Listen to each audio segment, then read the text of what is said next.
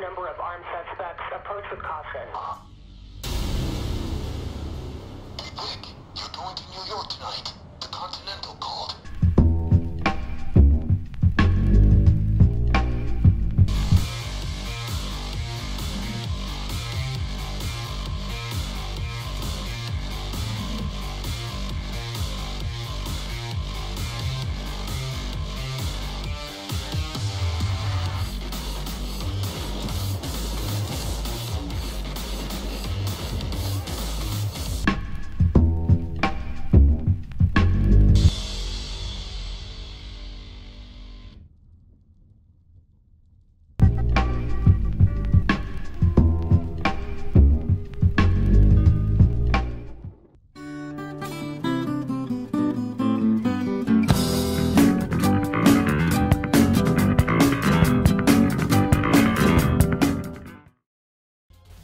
The John Wick heists, not to be confused with the John Wick weapon pack, contains two heists, one loud and one stealth, which are in Brooklyn, New York.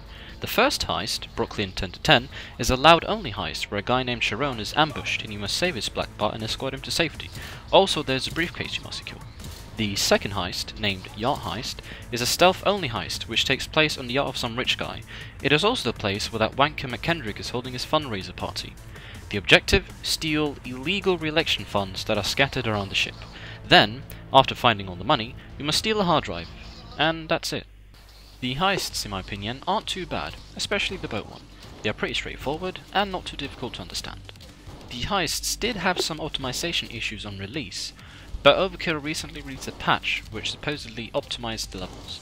I personally think that the heists were a bit, and I mean a bit, smooth to play on and stuttered less, but that's it really.